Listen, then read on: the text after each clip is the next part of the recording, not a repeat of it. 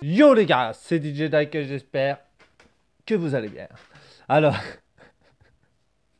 n'importe quoi putain. Bon bref les gars, j'espère que vous allez bien. Aujourd'hui on se retrouve pour mes pronos, mes pronos pour demain. Il y a les matchs de Ligue des Champions. Alors il y a qui? Il y a qui? Il y a la Juve contre Porto et il y a Leicester contre Séville.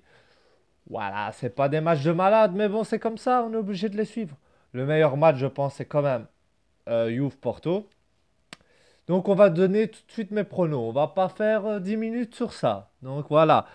Ça va pas être comme la remontada du, du Barça où la vidéo a duré 25, 25 minutes quand même.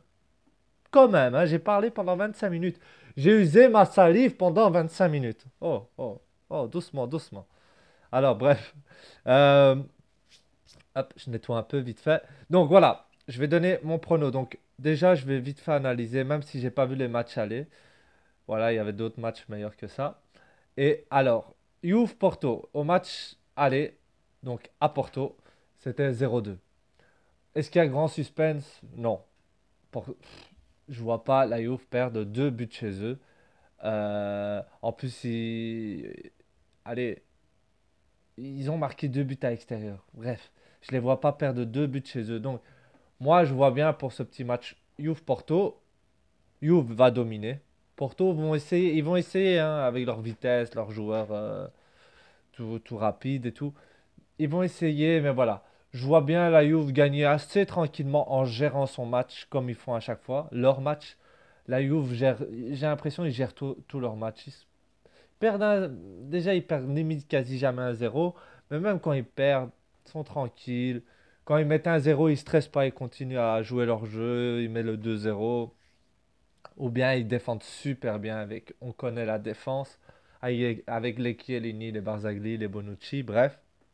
Donc voilà. Moi, je vois ce match, un score comme à l'aller, à peu près. Je vois un petit 2-0 pour la Juve ou un petit 1-0, comme ça, franchement, sans grand suspense. Voilà, je vois pas Porto vraiment mettre un but. Non, allez, 1-0 ou 2-0. Je vais plutôt dire 2-0.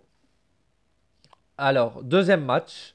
Euh, deuxième match, deuxième match, c'est euh, Leicester contre Séville. Séville, ils, sont, ils ont fait match nul ce week-end, il me semble. Match nul, ouais. Et euh, Leicester, je sais pas ce qu'ils ont fait, mais ils sont pas chauds. Leicester, à part on se dit, ouais, en Ligue des Champions, ça joue mieux, mais non, ça joue pas mieux.